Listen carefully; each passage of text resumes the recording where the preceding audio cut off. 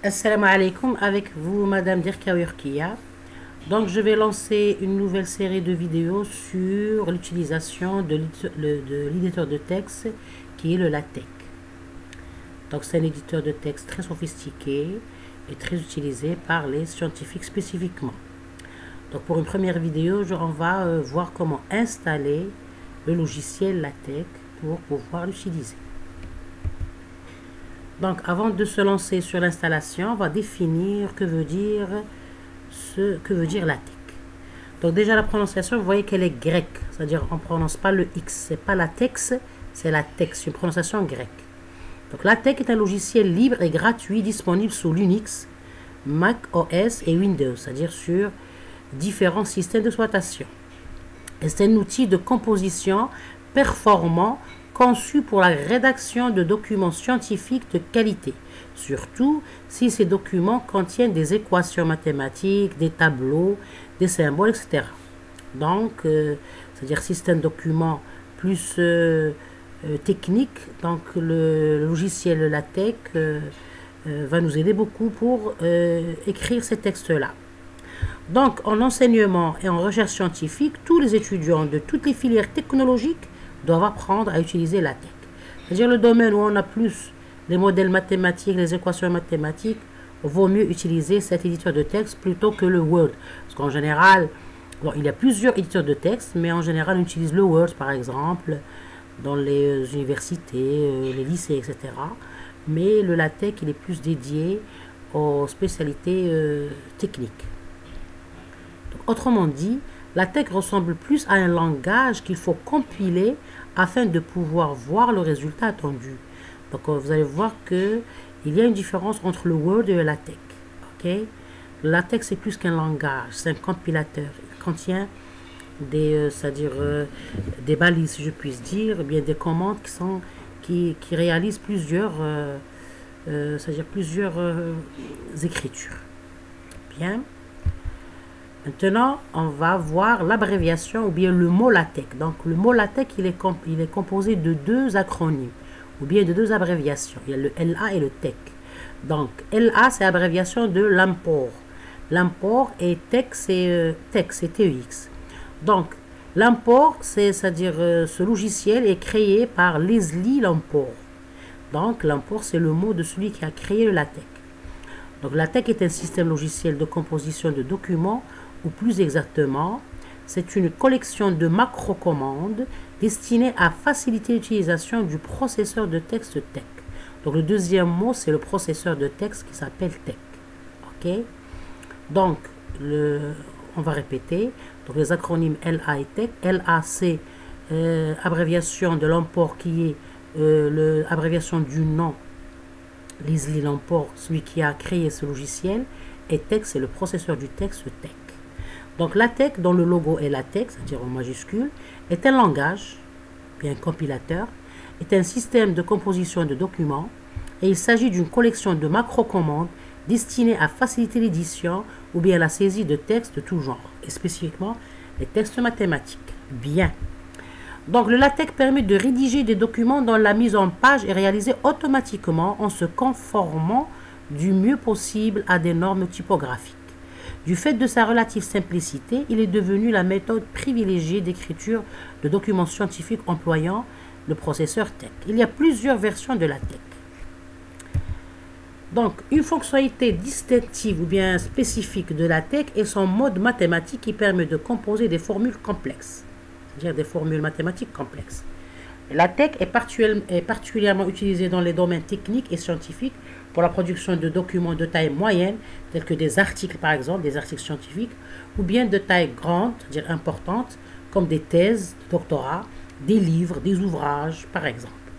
Donc néanmoins, il peut être employé pour générer des documents de type très varié, donc des lettres ou des transparents pour des exposés par exemple. Il génère euh, des PDF euh, généralement. Enfin, de nombreux sites Internet dont le texte est typiquement mis en forme euh, par euh, d'autres moyens emploient un sous-ensemble de latex pour composer notamment leurs formules mathématiques. Donc c'est un éditeur de texte qui est utilisé dans des pages web pour des sites web euh, différents. Ça c'est pour toucher l'importance et le, c'est-à-dire l'utilisation importante de, ce, de cet éditeur de texte. Très bien.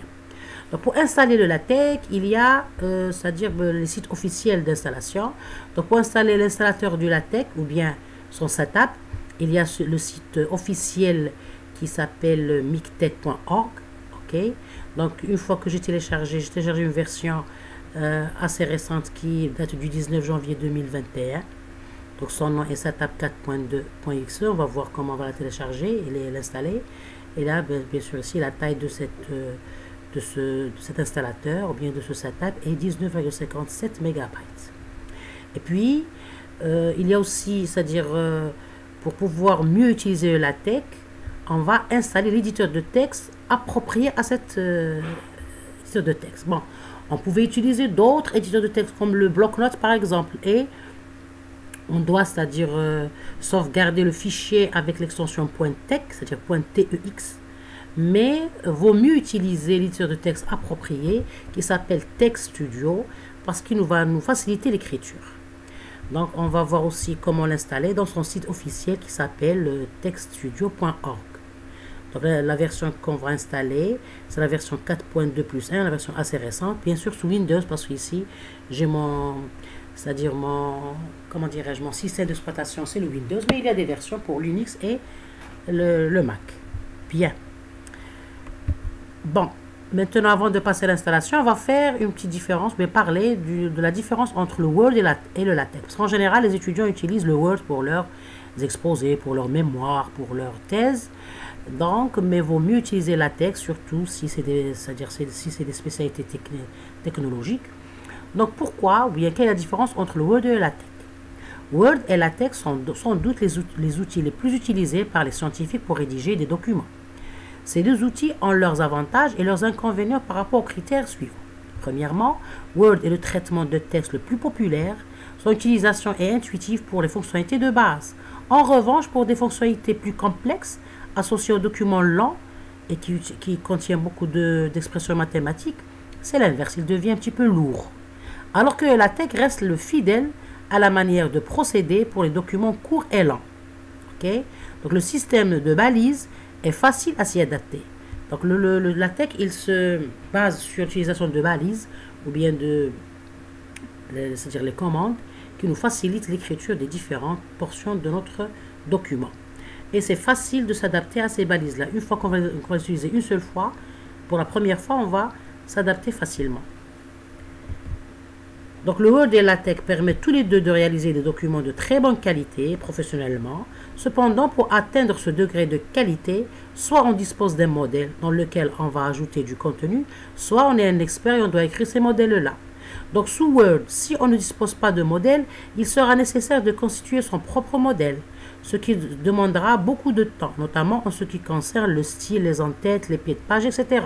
J'ai remis en page. Alors que sous la tech, les choses sont plus évidentes et faciles grâce au système de balises.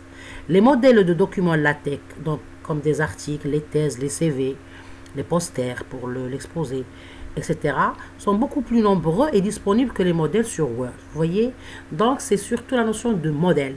Parce qu'en Word, si on a des modèles, des modèles de thèse, de mémoire ou bien, peut-être que c'est facile d'utiliser le Word. Mais si on n'a pas de modèle, on doit écrire notre propre modèle. Et ça, ça va prendre beaucoup de temps et beaucoup de travail.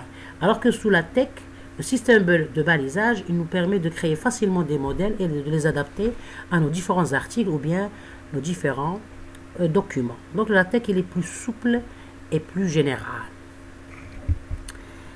Maintenant, pour pouvoir utiliser le, la tech, on a besoin, du, bien le package LaTeX, on a besoin d'un éditeur de texte bien sûr qui va générer les fichiers de type .tex. Bien, on va sauvegarder le fichier avec les différentes balises dans l'extension .tex. On peut utiliser n'importe quel éditeur de texte, comme le bloc-notes maintenant, mais vaut mieux utiliser l'éditeur de texte qui est dédié au, au LaTeX, qui s'appelle Text Studio. Donc, il est traduit de l'anglais. Donc, Text Studio est un éditeur de LaTeX open source, multiplateforme, c'est-à-dire il peut s'utiliser sous différents systèmes d'exploitation. Ces fonctionnalités incluent un vérificateur d'orthographe interactif, vous voyez, parce qu'il a des couleurs. Donc, il y a la notion d'erreur syntaxique, donc il peut vérifier les erreurs d'orthographe, le pliage de code et la coloration syntaxique. Donc, vous voyez qu'il. C'est-à-dire, par exemple, il fait la différence entre la balise et un commentaire, etc. Donc, il ne fournit pas le, c'est-à-dire euh, LaTeX lui-même, c'est-à-dire c'est un éditeur de texte. Donc, euh, l'utilisateur doit choisir une distribution TeX et l'installer en premier. Donc, on doit avoir premièrement le logiciel LaTeX avec ses différents packages. Puis, on va installer l'éditeur de texte qui s'appelle Text Studio. OK? Donc, c'est ce qu'on va voir maintenant en détail. Donc, Text Studio, ou bien, c'est-à-dire la, la nomination euh, ancienne, c'est Text Maker X. L'éditeur de texte nous, que, nous allons utiliser avec le LaTeX. Il est disponible gratuitement et librement pour les trois plateformes, le Linux, le Mac OS et le Windows. Et c'est l'éditeur qui est orienté LaTeX. Il est spécifiquement pour le LaTeX. Bien. Donc, on va essayer de voir comment l'installer. Donc, premièrement, on a vu les sites officiels ici d'installation. On a pour le LaTeX, c'est mictech.org et pour l'éditeur de texte Text Studio, le textstudio.org. Donc on va commencer par le LaTeX proprement dit. Donc on va lancer un navigateur de recherche Google Chrome. Dans mon cas, j'ai Google Chrome. OK. Donc je le lance. Bien, donc je vais relancer Donc, dans ma fenêtre de recherche, je vais écrire bigtech.org. Bien installer la texte, c'est kiff kiff. Essentiel, un mot-clé qui va nous mentionner. D'accord. Donc, je vais lancer ici mictech.org. Très bien, donc comme mot-clé. Vous voyez ici qu'on a c'est-à-dire le pouvait ici spécifier que Mictech pour voir le site au complet donc c'est mictech.org donc il va nous lancer ce menu là vous voyez qu'il y a euh, c'est-à-dire c'est le site euh, spécifique au, LaTeX welcome to the Mictech project page Mictech is a modern text distribution for Windows, Linux and Mac OS. Okay? Donc c'est vraiment d'actualité et très sophistiqué. Donc on va aller dans la fenêtre Download parce qu'on voudrait télécharger la version de la tech. Bien. Une fois qu'on a ces Download, donc il a ici une version basique. Bon, elle est plus sophistiquée. On va essayer d'installer une version plus générale. Donc All Downloads. Vous voyez ici qu'il y a les versions selon le, votre euh, dire système. Donc on a 32 bits et 64 bits. Dans mon cas, j'ai 32 bits, donc je vais essayer de choisir Net Installer, c'est-à-dire le setup net pour 32 bits. Donc je vais cliquer dans cette euh, c'est-à-dire je vais choisir l'option Net Installer 32 bits et je vais cliquer sur Download. OK? Une fois que vous avez cliqué sur Download, il va vous c'est-à-dire télécharger le setup 32 euh, bits de la tech. Donc j'ai déjà téléchargé, je l'ai ici dans mon fichier téléchargement pour ne pas perdre du temps. J'ai déjà téléchargé. Donc je vais vérifier dans mon fichier, bien dans mon répertoire téléchargement.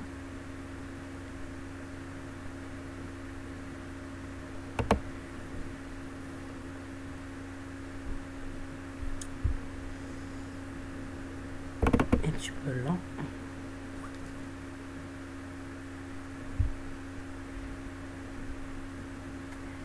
Ici que j'ai ici la version SATAP 4.2 de la tech. Très bien. Maintenant, on va télécharger la version euh, de Text Studio, qui est l'éditeur de texte dédié, euh, bien orienté pour la tech. Donc, c'est Text Studio. Dans le navigateur Google Chrome, vous écrivez textstudio.org, c'est-à-dire c'est le site bien même Ici, dans l'adresse URL, dans l'URL, vous pouvez écrire directement textstudio.org. Donc, vous voyez qu'il va nous donner le site pour textstudio.org. Donc, welcome to Studio Text Studio is an integrated writing environment for creating LaTeX document. Vous voyez, donc c'est un environnement, IDE, donc Integrated euh, Writing Environment. C'est un IWE, c'est-à-dire il contient plusieurs euh, options pour créer des fichiers LaTeX euh, de qualité. Donc on va, c'est-à-dire ici, télécharger la version la plus, euh, c'est-à-dire la plus récente, c'est la version 4.2.1 sous Windows, bien sûr. Donc j'ai déjà téléchargé ici, vous voyez, c'est la version 4.2.1 pour ne pas perdre du temps. Donc j'ai déjà cette version-là. Donc vous cliquez sur Download et vous aurez votre version. Donc on va voir dans le téléchargement. Donc j'ai la version Text Studio 4.2.1 Win Qt6. C'est une version du, de l'éditeur de texte euh, Text Studio. Très bien. maintenant, pour installer, on va premièrement installer le LaTeX, puis installer l'éditeur de texte Text Studio. Donc c'est la version Setup 4.2. Je vais cliquer sur Setup 4.2. Je vais double-cliquer, ou bien cliquer sur Entrée pour lancer le setup ou bien l'installeur en anglais. Setup c'est en anglais, l'installeur c'est en français. Pour pouvoir installer notre LaTeX. Ça prend beaucoup de temps. Bien, donc vous voyez ici qu'on a, il faut accepter la licence, j'accepte. Suivant, donc c'est une installation par défaut. Donc vous voyez ici qu'on a deux, c'est-à-dire deux parties pour l'installation. On doit installer, c'est-à-dire choose the task you want to create, create out. Premièrement, on doit download MikTeX qui est will be downloaded into a directory on your computer and install MikTeX. MikTeX will be installed for from directory on your computer. Donc on va installer les deux c'est-à-dire, premièrement, on va télécharger le MikTeX, la description, puis on va télécharger l'installeur. Donc, je vais premièrement choisir la première, c'est-à-dire euh, option. Donc, suivant. Donc, j'ai choisi la version complète, c'est recommandé, parce que euh, si on va choisir la version basique, on n'aura pas l'occasion, on ne pourra pas faire des dessins. Ici, euh, je, fais, je vais installer, c'est-à-dire ça va être plus lent, mais ça va contenir le, le latex au complet pour pouvoir faire tout ce qu'on veut, entre autres les dessins. Donc suivant. Maintenant, download the MikTeX distribution from. Maintenant, il va me demander choose download source, c'est-à-dire la source de, téléchargement. Donc je sais pas qu'est-ce que je vais comment. Bon, le serveur à choisir pour le téléchargement. Il y a plusieurs villes, c'est-à-dire euh, qui sont sources du serveur. Je dois choisir une ville qui est le plus proche de l'Algérie. Je sais pas ce qu'il ici. Non, il n'y a pas d'Algérie. Je vais prendre Morocco par exemple. Le Maroc, c'est plus proche. Donc Maroc ou bien France. Bon, suivant, j'ai choisi le Maroc. Suivant. Download MikTeX Distribution 2. Donc ici, pour choisir, c'est-à-dire où je vais télécharger mon, c'est-à-dire les fichiers de la tech ou bien le package, je vais essayer de créer, c'est plus, c'est-à-dire c'est plus simple. Je crée mon répertoire. Je vais pas, c'est-à-dire laisser les choses euh, par défaut. Donc, je vais choisir le bureau, par exemple. Bureau. Je vais créer un nouveau dossier dans bureau que je vais appeler euh, LaTeX. OK. Bien. Donc, donc je vais le mettre sous le bureau dans le répertoire que j'ai nominé LaTeX. Suivant. Maintenant, je vais commencer l'installation. Donc, il va commencer l'installation de LaTeX. Très bien.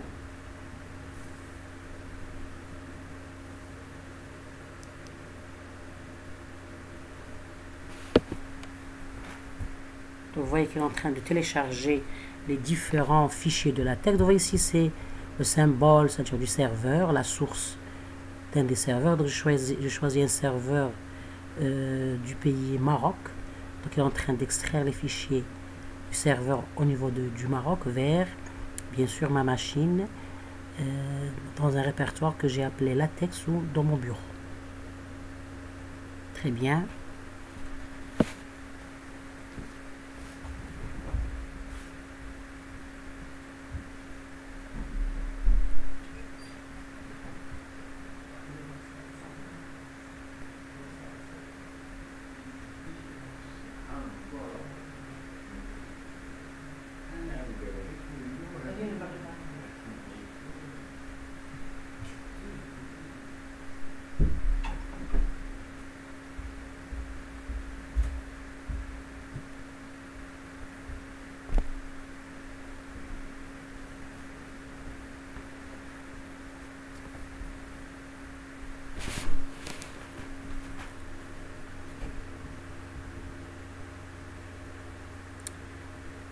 Vous voyez ici, il faut toujours, c'est-à-dire prendre le, comment dirais-je, le réflexe de lire euh, sur vos fenêtres. Vous voyez que c'est en anglais, donc c'est facile à interpréter. Donc this is MikTeX Setup Service 4.2, MikTeX 32 bits, starting downloader.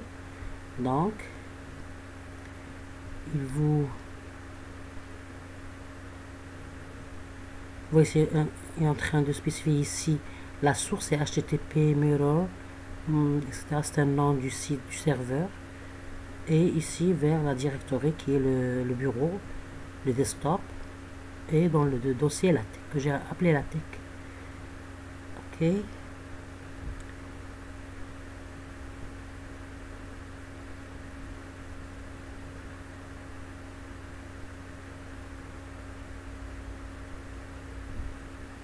Très bien.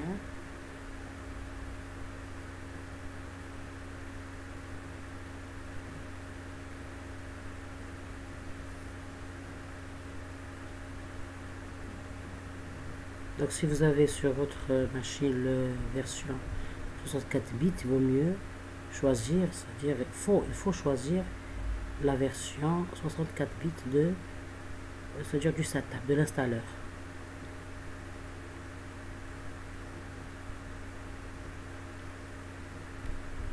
Je vais voir ici.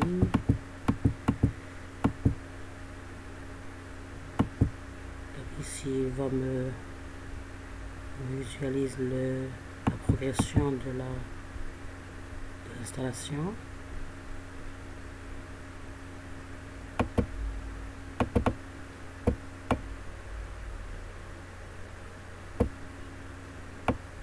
Vous voyez, c'est-à-dire différents, euh, différentes tailles des bits téléchargés, euh, taille des fichiers téléchargés plutôt, bien des packages téléchargés.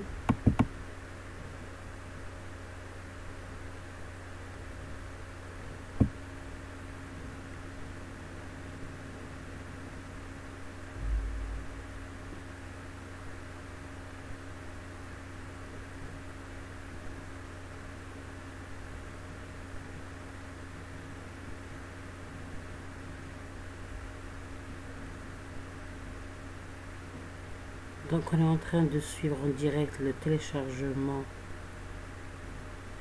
de MicTechNet Installer, le téléchargement de la tech.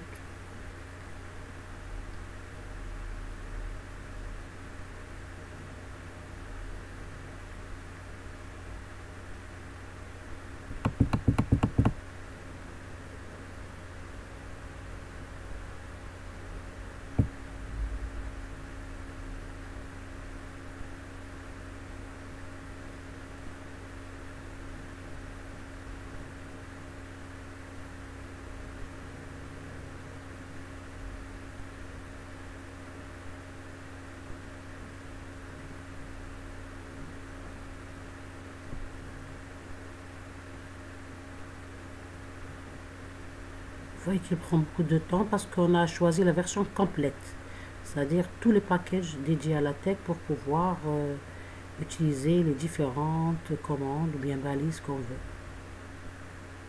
Pour, de, pour créer des, équations, pour faire des tableaux, faire des dessins, des figures, ainsi de suite.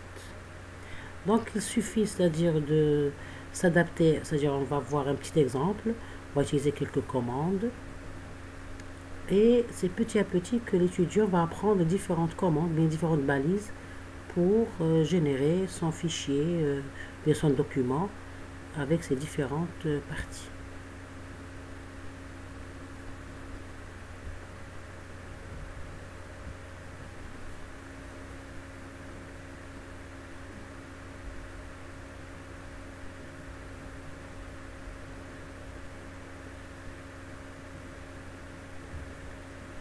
Pour rédiger vos mémoires de master ou bien de doctorat, ou bien les thèses de doctorat, vaut mieux utiliser la tech.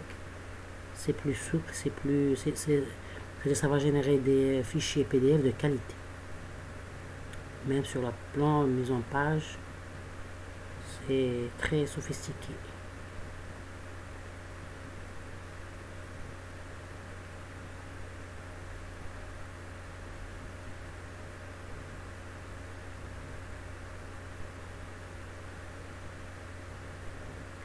Voici, c'est, euh, il mentionne que the main task is being executed. Parce qu'on a vu dans l'installeur de la tech, il y a deux euh, options, bien deux parties, la partie 1 et la partie 2.